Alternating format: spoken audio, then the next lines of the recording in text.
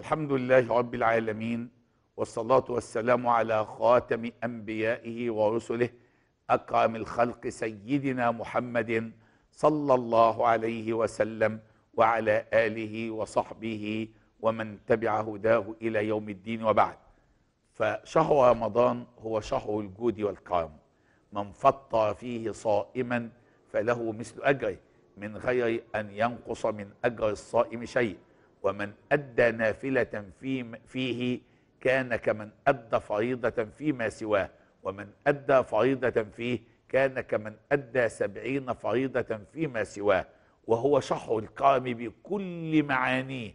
وكان النبي صلى الله عليه وسلم أجود الناس وكان أجود ما يكون في رمضان. وقد حثنا ديننا الحنيف على الإنفاق في سبيل الله فقال سبحانه مثل الذين ينفقون أموالهم في سبيل الله كمثل حبة أنبتت سبع سنابل في كل سنبلة مئة حبة. والله يضاعف لمن يشاء والله واسع عليم. ويقول نبينا صلى الله عليه وسلم لا حسد إلا في اثنتين رجل آتاه الله مالا فسلطه على هلكته في الحق أي على إنفاقه في الحق ورجل آتاه الله حكمة فهو يقضي بها ويعلمها. ويقول صلى الله عليه وسلم إنما الدنيا لأربعة نفر. رجل آتاه الله مالا وعلما فهو يتقي فيه ربه ويصل فيه رحمه ويعرف لله عز وجل فيه حقه فهو بأرفع المنازل أي بأعلاها عند الله عز وجل. ورجل آتاه الله علما ولم يؤته مالا. فقال لو أن لي مالا لعملت فيه بعمل فلان أي لتصدقت وأنفقت وأعطيت ووصلت الأرحام فهو بنيته فأجرهما سواء. والثالث رجل آتاه الله مالا ولم يؤته علما فلا يتقي فيه ربه ولا يصل لله فيه رحمة ولا يعرف لله فيه حقه فهو بأخبث المنازل. ورجل لم يؤته الله لا مالا ولا علما فقال لو أن لي مالا لعملت فيه بعمل فلان فهو بنيته فوزرهما سواء. المال مال الله. يقول الحق سبحانه وآتوهم من مال الله الذي آتاكم. ثم ماذا نحن؟ نحن مستخلفون على المال. حيث يقول الحق سبحانه وأنفقوا مما جعلكم مستخلفين فيه. فمن أحسن الاستخلاف من أحسن الاستخلاف بارك الله له في ماله في الدنيا وجعله سبيلا لرحمته يوم القيامة. يقول النبي صلى الله عليه وسلم من تصدق بعدل تمرة من كسب طيب وإن الله طيب لا يقبل إلا طيبا فإن الرحمن عز وجل يتقبلها بيمينه ثم ينميها له حتى تكون مثل الجبل. ويقول صلى الله عليه وسلم أيكم مال وارثه أحب إليه من ماله؟ قالوا يا رسول الله ما منا من أحد إلا ماله أحب إليه. قال فإن ماله ما قدم ومال وارثه ما أخر. ليس لك إلا ما أكلت فأفنيت أو تصدقت فأبقيت. ليس لك إلا هذا. ما أكلت فأفنيت أو لبست فأبليت أو تصدقت فأبقيت. وما عندكم يم ويقول الحق سبحانه ما عندكم ينفد وما عند الله باق. ولما دخل النبي صلى الله عليه وسلم على السيدة عائشة رضي الله عنها يوم الأضحى قال لها ماذا بقي من الشاة يا عائشة؟ قالت بقي ما بقي منها إلا الكتف يا رسول الله. قال النبي صلى الله عليه وسلم بل بقي كلها إلا الكتف ما عندكم ينفد وما عند الله باق. وجاءت امرأة عجوز إلى الإمام الليث بن سعد وقت جني العسل تحمل كأسا صغيرا كأسا صغيرا وقالت املأوا لي هذه عسلا. فنظر إليها الإمام الليث بن سعد وقال أعطها زقا. وعاء كبيرا كصفيحة كاملة أو نحوها. قالوا يا إمام لقد سألت كأسا وهي امرأة عجوز. قال هي سألت على قدر حاجتها ونحن نعطي على قدر نعم الله علينا. نحن نتعامل مع الله. وكانت السيدة عائشة رضي الله عنها رضي الله عنها وأرضاها إذا تصدقت جاءت بأفضل الطيب فطيبت الدراهم والدنانير. فقيل لها إن الفقير يحتاج إلى الدرهم والدينار ولا ينشغل بالطيب. قالت إني أتعامل مع الله وإن الدرهم والدينار لا يقع من يد الله بمكان قبل أن يقع في يد الفقير. فعندما تتعامل أنت تتعامل مع الله وتشكر نعم الله عليك لأن شكر المال لا يكون بالكلام. ولا بالحمد بالكلام. شكر النعمة يكون من جنسها. يقول رب العزة اعملوا آل داود شكرا وقليل من عبادي الشكور. شكر المال يكون بالعمل. وبعض الناس لا يكاد يستشعر نعم الله عليه في حياته.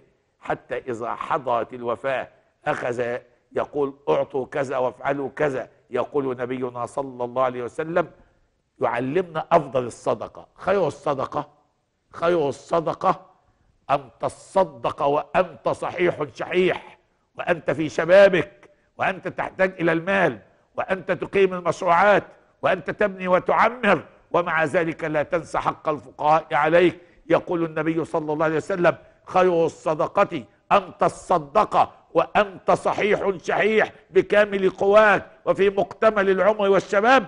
لا أن تنتظر حتى إذا بلغت الحلقوم وتأكدت أنك لا تنتفع بالمال.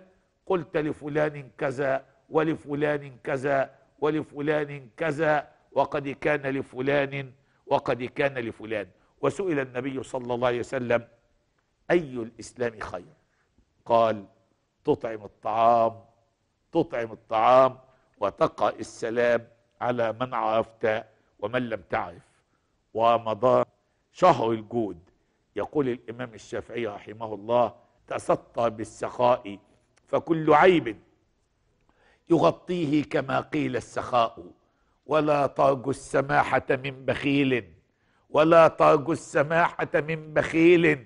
فما في النار للظمآن ماء ورزقك ليس ينقصه التأني وليس يزيد في الرزق العناء.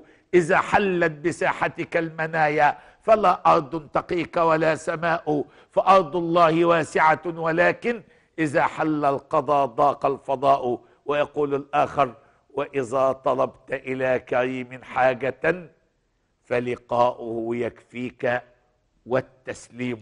ويقول الآخر تهلل قبل تسليمي عليه وألقى ماله قبل الوساد. ويقول نبينا صلى الله عليه وسلم أربعون خصلة.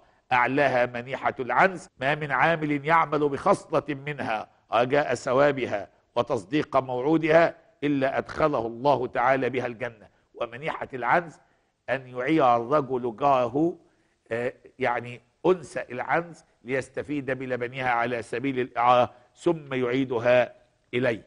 ونبينا صلى الله عليه وسلم كان أكرم الناس.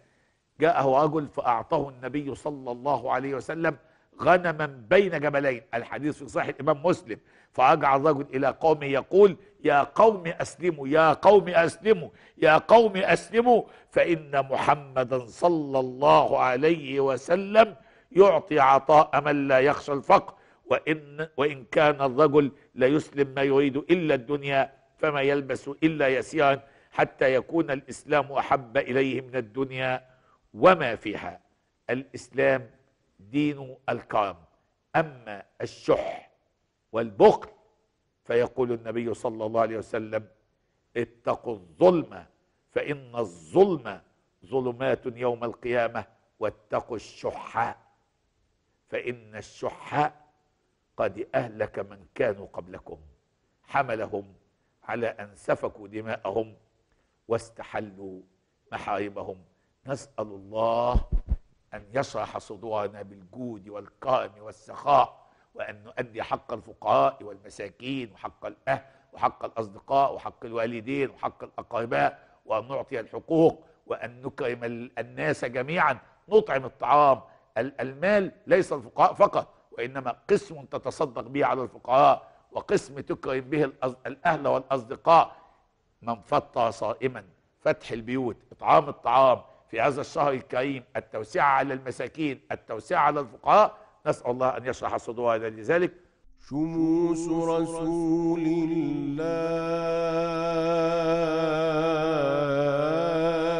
في الناس حلقت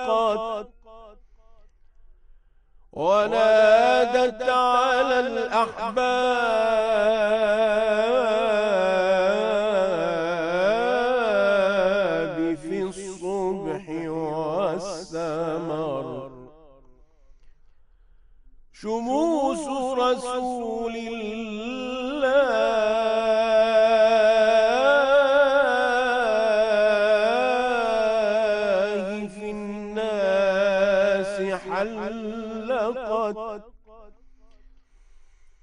ونادت على الأحباب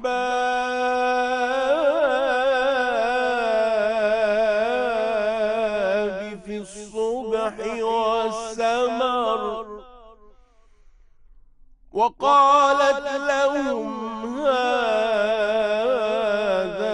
حبيب وسيد فؤاد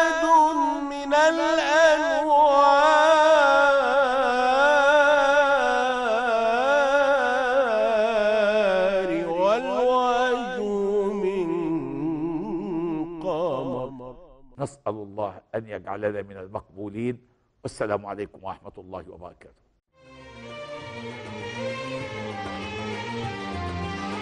أكرم شفيع